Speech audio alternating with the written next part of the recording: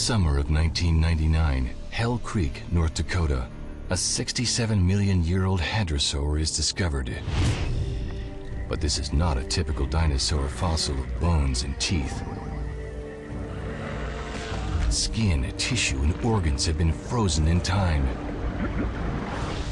Scientists can't wait to take a closer look at this rare dino mummy.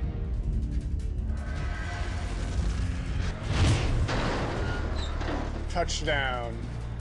They haul the 10,000 pound specimen back to the lab and begin slowly chipping away.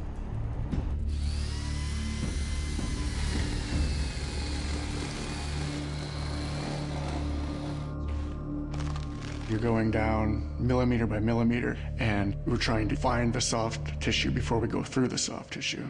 And so that's particularly challenging. This is when the, the X-ray vision comes in helpful. We need to know what's inside That's- yep, here. that's right. I think a CT scan would help us hugely with this specimen. Not just any CT scanner will do. They are off to the world's largest, a 1,300 mile journey. The Boeing company uses this massive X ray source to detect flaws in space shuttle parts. It arrives without a hitch, but the challenges are just beginning. This is far, by far the biggest and the heaviest piece that's ever been scanned. It's going to be a challenge. Unlike a scanner at a hospital where x-rays spin around a patient, in this CT scanner, which has to accommodate objects of all different sizes and shapes, the patient spins. The Dino Mummy is the largest patient to date, and at the moment, it is too large. That's fine. That's fine. This What's worse, even if the team does manage to squeeze it on, they aren't convinced that the 6 million electron volt X-ray source is powerful enough to penetrate and image the giant block. After days of difficult engineering, the crew finally squeezes the massive block onto the scanner.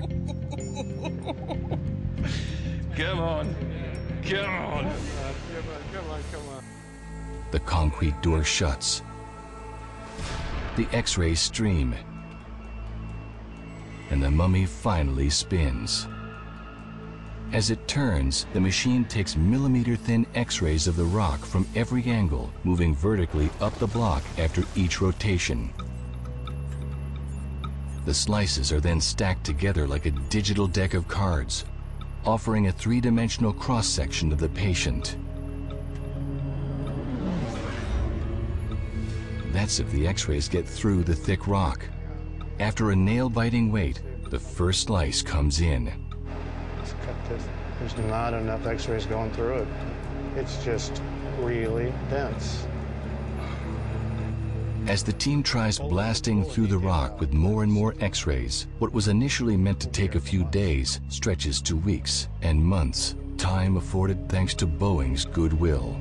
The massive CT scanner may be no match for the mummy's 8,000 pound body, but it easily slices through the smaller 2,000 pound tail, and results here don't disappoint. It's missing.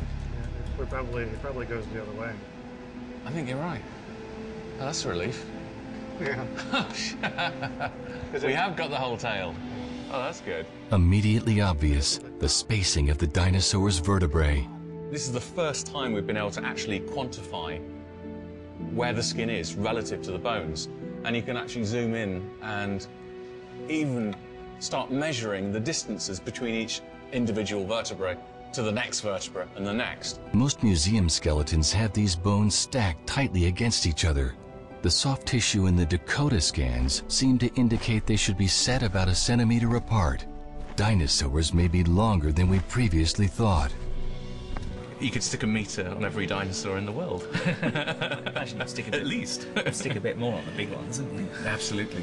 Even more exciting, the tail scan finally provides the muscle data these scientists so desperately need to get our hadrosaur up and running, a first in dinosaur locomotion. So we know this is skin here, and you can track it through to the skin envelope That's here. enormous, isn't it? It, it's really deep. Look at the depth. I know, And that's just where you huge. got your huge muscle group for the tails. It is muscles in the tail that power the hind legs and act as a dinosaur's main engine. The CT scan confirms Dakota's was more inflated than anyone ever expected.